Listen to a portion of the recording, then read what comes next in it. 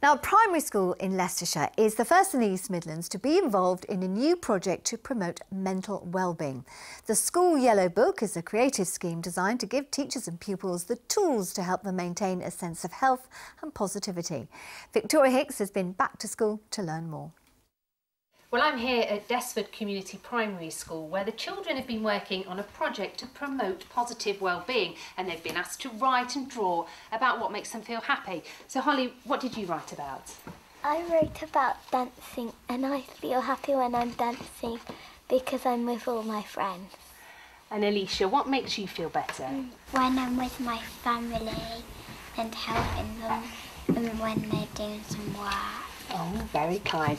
Now, this is all part of a project called the School's Yellow Book Project. Pete Hirst, you're behind it. Yes, that's What right. is the idea? Um, so it's all about um, focusing on positive mental health and well-being. It's um, it's also about um, equipping the children and the teachers with tools, tips, and techniques, things that they can try that can help empower them and, and give them some a sense of health and well-being. Um, this is the first school um, yellow book, and um, we're looking to branch out into more schools as, as we go as we go further forward.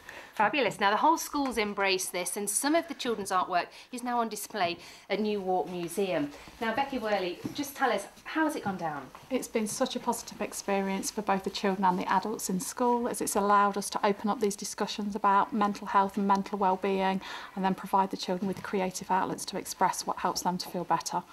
Wonderful. Well, we'll be finding out more about this project on East Midlands Today tonight at 6.30.